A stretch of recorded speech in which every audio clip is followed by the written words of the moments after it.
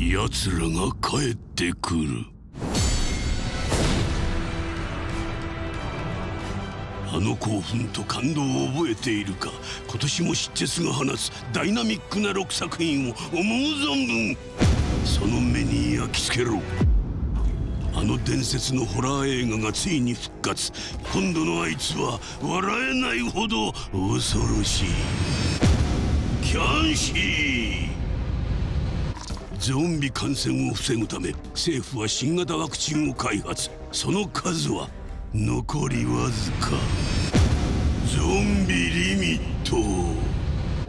本家シッチェス映画祭グランプリ受賞。謎の男ボーグマンの侵略の一部始終を目撃せよ。ボーグマン。肥料工場の主モーガン兄弟が開発した新商品。その材料は人間の死体。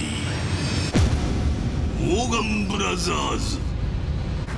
昏睡状態の青年が持つ危険な超能力。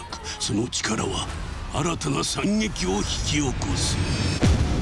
パトリック戦慄病棟。初めての海外旅行南米チリ。催眠術をかけられた彼女は次第に崩壊していく。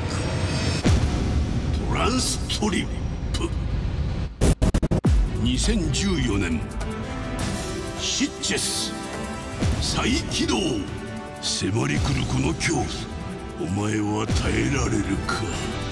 シッチェス映画祭。ファンタスティックセレクション。2014